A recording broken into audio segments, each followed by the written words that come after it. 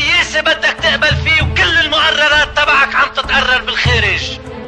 مين بده يقرر اليوم أي حكم بده يتطبق بلبنان ونحن بنعرف بأي وضع موجودين؟ نهار يلي على بعد كم كيلومتر من هالموقع. كنا طرحنا فكرة اللامركزية.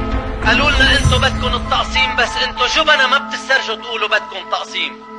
واليوم المعركة تبعنا معركة سيادة معركة استقلال بدهم يشتركوا فيها.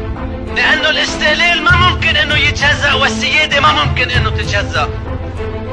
النظام بيجي وقت يلي استقلالنا وسيادتنا بتكون تحققت كاملة وتامة على كل أرض لبنان.